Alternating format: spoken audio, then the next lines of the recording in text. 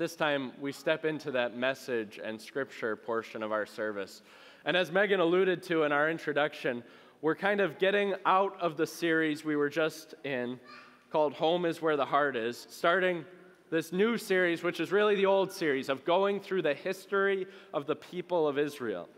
So there's going to be a lot of remembering this morning as I ask you to remember back to what we talked about a month ago when the people of Israel were in exile. And we heard that story of Daniel, and some of you might remember the story of Daniel. He had the choice between the bacon and steak that the king was eating or the Brussels sprouts and river water that he was going to eat. And he decided rather than fitting in and eating the king's meal, he was going to be a weirdo in a weird place and eat his Brussels sprouts and asparagus. But he was going to do it to be faithful to God. You see, Daniel's priority was to follow God's law. Daniel, through his life up to this point, before our message today, lived his life being faithful to God and also being opportunistic, which for Daniel means he made the most of the opportunities he had to serve the people around him. And now he's got another message to share with us today. So let's hear our video and see what Daniel's story has to teach us.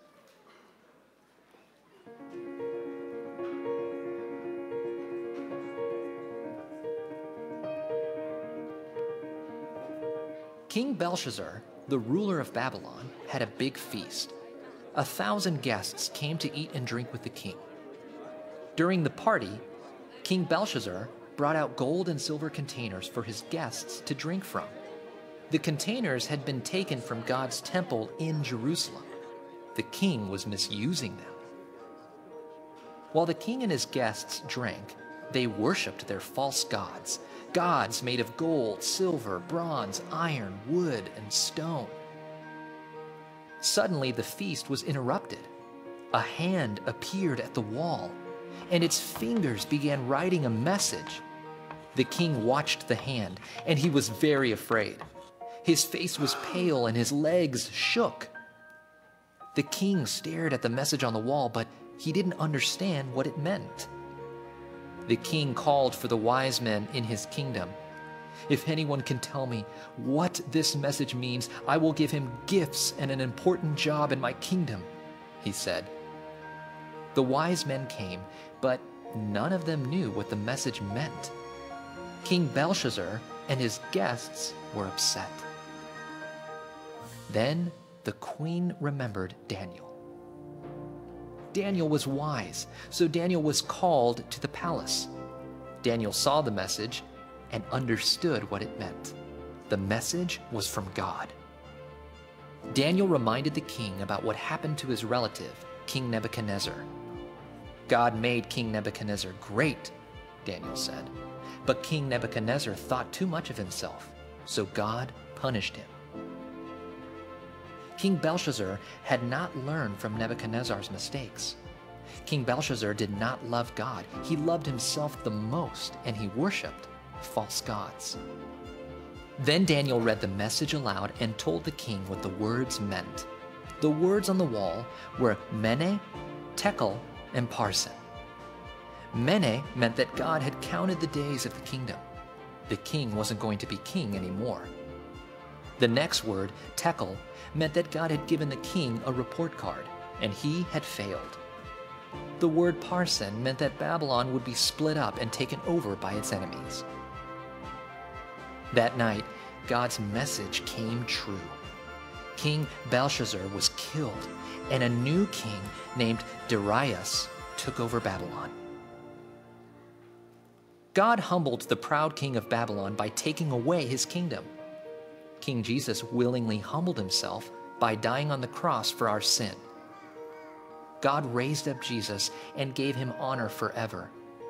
When we humble ourselves and trust in Jesus, God will raise us up to enjoy Jesus in his kingdom forever. So Daniel was faithful and opportunistic. Daniel is one of the masters of conversion in the Old Testament. And this story of Daniel and King Belshazzar, Belshazzar is the only king that Daniel did not convert to the one true faith in the one true God. His father, Nebuchadnezzar, came to believe in the one true God. The king after Belshazzar came to believe in the one true God because Daniel was faithful and opportunistic to deliver God's word. And that word that God sent to King Belshazzar wasn't a great word. Have any of you, how many of you have ever heard the phrase, read the writing on the wall? Okay, most of, most of the adults have heard that phrase.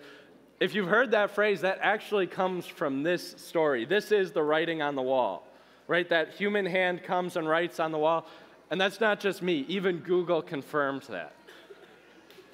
The writing on the wall isn't good news. It's not good news whenever you hear that phrase, and it's certainly not good news for King Belshazzar. The writing on the wall says, Mene, Mene, your days have been counted, and they've come to an end. Says, Tekel, you, you get your report card, and it shows that according to God's holiness, you're not good enough. And Parsin, you're not going to be king anymore, but somebody else is going to be king. For Belshazzar, that news was really, really scary. When Daniel read to him the writing on the wall, he was terrified. And I know that we all kind of know the writing on the wall. I don't know what brought you here, but I imagine that one of the reasons you are here today is because you've read the writing on the wall. And you don't need to come here to hear about it, to hear the fact that your days are numbered, because the world is really good at reminding us of that, of how fragile our lives are and how at any moment they could be taken. Or, or to be reminded that when we get our report card from a holy, perfect God, we aren't good enough. We are deserving of judgment. That's what the word tekel means. Or even though we try to organize our lives, even though we try to control things, even though we try to get a handle on what our family's doing and get a mastery over our lives and what happens, Parsin, we aren't the kings of our lives. We aren't the queens of our lives, and we know that there are things that are out of our control. You've heard the writing on the wall, and I imagine that the writing on the wall, the words of God, remind us to come here and hear a better writing. You see, the writing on the wall for us, for King Belshazzar, that was the last word he had from God. But for us, we get to hear another word from God. And it's not just the writing on the wall, but the writing on the cross right? That's what Christmas is about. It's about God sending his son Jesus into our world so that he can take on the sins of the world. And as Jesus, the Word of God, not in just a human hand, but in a human body, walks on this earth, they hang him up on the cross. And in Jesus, the writing on the cross, we hear these words a different way. Mene, mene, your days are numbered, but they meet their end on the cross of Christ. Tekel, your report card isn't good enough but your punishment is there on the cross of Christ as the Word of God hangs there. Parsin, you aren't the king of your world, but just read the inscription above the cross of Christ. This is the King of the Jews, and that writing on the cross is writing for us too, as Jesus isn't only the King of the Jews, but He is our King too. God uses the cross the writing on the cross as his divine eraser to erase the writing on the wall for us. And how does he do that? Well, we saw a little piece of it again today. See, as Jackson and Harper are baptized into the family of God, they're baptized into the community of St. Luke's. One of Jesus' friends, Paul, reminds us that they're also actually baptized into the death of Christ. So that through baptism, our, our lives are united to Christ's life. So that when we talk about death, we're actually talking about what happened on the cross of Christ, where we were judged with all of our sins. So that in baptism, we can be raised to new life. And in baptism, God keeps writing. He takes out his book of life that has in it all of the names of those people who believed in Jesus. And today he writes Jackson and Harper. And he's written your name there in the book of life, too. As we think about the writing, there are, there are those three writings that matter to us the writing on the wall that reminds us we need Jesus. The writing on the cross that shows us that God gives himself fully to us. And then the writing in the book that reminds us that we are members of his kingdom. You See, but God doesn't just write his name in that, write our names in the book of life so that we can live life and feel good about ourselves.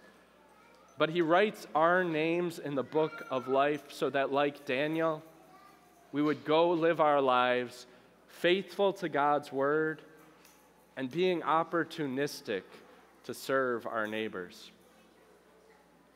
One of the ways that I have been reflecting on this this week is I realized as I was leafing through my prayer journal that I've lived in my neighborhood for a little over two months now. And I hadn't yet sat down and prayed for the salvation of my neighbors, of the people living around me. And in preparation for this sermon, that's something I wrote in my prayer journal to keep them in mind, to keep being opportunistic, to see the ways that God is calling me to show love for the neighbors around me. You see, because God writes your name in the book of life, He gives you the gift of His Son for eternity so that you can share that gift with the people that you interact with every single day. Your name is written in the book of life. The writing on the wall doesn't apply to you anymore. So let's spend our lives faithfully and opportunistically showing others the writing on the cross, God's divine eraser. Amen.